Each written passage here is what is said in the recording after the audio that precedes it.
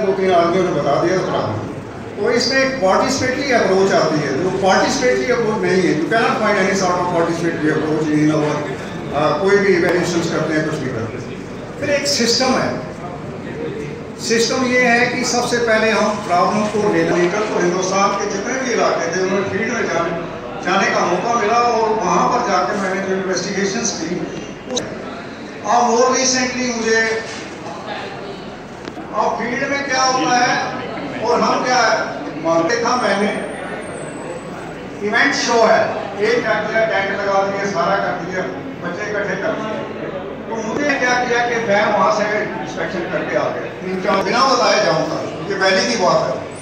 दूसरे दिन का गया, देखा ना बच्चे हैं, ना फर्नीचर है, ना वहाँ पर बारिश है तो ये तो कैंसर नहीं हो आपका मैंने कहा, मैंने अफसर काम पूरा कर और एक्शन ऐसा हो वो दो डिवाल कर देंगे पैसा उनको कहा रिफंड आप श्रीनगर आएँगे तो हमारा कारोबार कम कर तो इस तरह से मैंने देखा अगर गवर्नमेंट जो है किसी की रिपोर्ट को मानती है तो समझ लो कि काम अच्छा हो।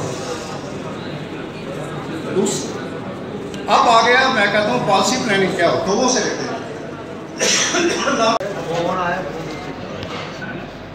Sir sir.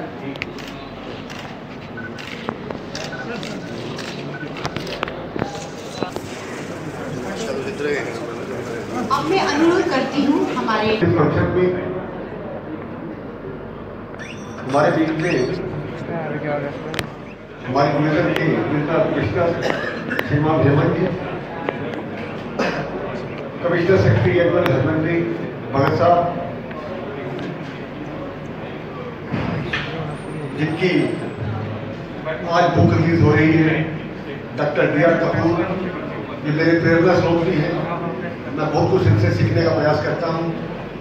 Shri Ashwini Jogra ji, Shri K P Jandial ji, team Jammu के हमारे चेयरमैन हमारे मित्र जोरावर सिंह जी